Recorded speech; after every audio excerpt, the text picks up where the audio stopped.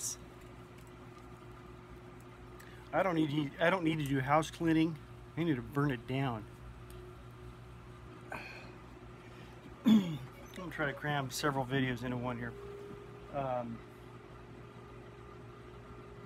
this fan started to sing.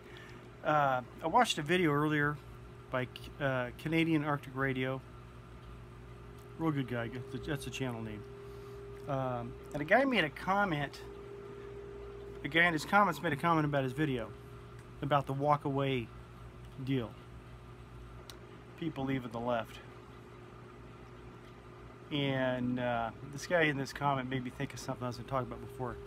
Uh, my cousin that died last a year ago, year ago a year ago in November uh, was one that had the stroke. He's taking food every day. He's actually my dad's cousin, so he I guess he's my second cousin. And his mom was my dad's aunt. But I was she was my auntie. That was just you know when I was growing up as a kid. She died early 90s.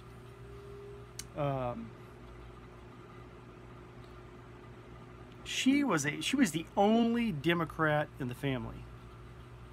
Everyone else in the family was far right, especially my grandfather. Uh, and she, voted for Carter. She voted for Mondale. I think Mondale ran. Mondale or Mondale somebody else, whatever it was. She voted for Dukakis. Was a real. I remember the whole Dukakis deal. She was just totally for this guy. Um, and she was she was an Armenian woman. Um, I don't know if you'd say she was the first generation of the, the, the family line here. Her, her, her mother was one that survived the uh, uh, genocide, the Armenian genocide. Her, and her brother came out here. Everyone else, the other 15 people in the family were all murdered uh, in that deal. And so that was their, their mother was a direct descendant of that.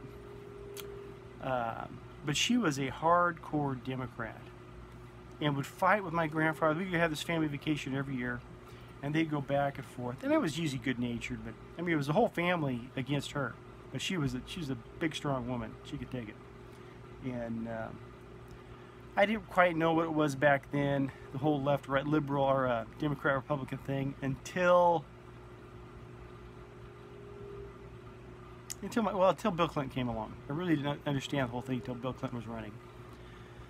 But my aunt, I mean, she was she had pictures in the house of JFK um, hardcore Democrat. But she loved this country. She was USO. She was one of the ladies that worked in the factories during the war.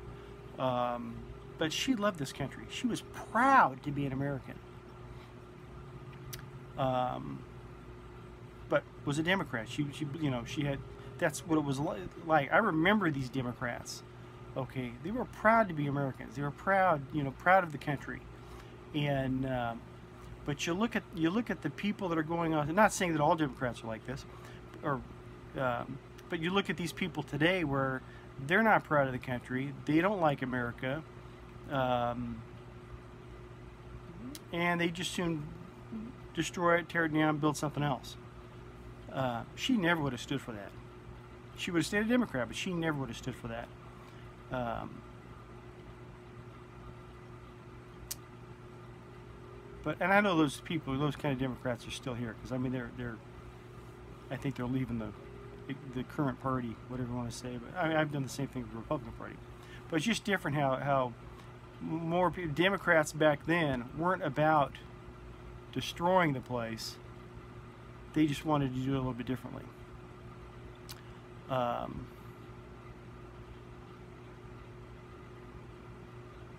I don't know if I could put that other bit in here. No, it's gonna be too long. Anyhow, I was just reflecting on that. She she was, like I said, she died. She was in her 70s, died in the early 90s, and um, very proud American. You just don't see that in a lot of the left and the stuff they're, they're the, the left that we're hearing from. Because I think progressives aren't necessarily liberals. There's, they've got some other idea going on, but they're far. Um, they're not very proud as far as of being American.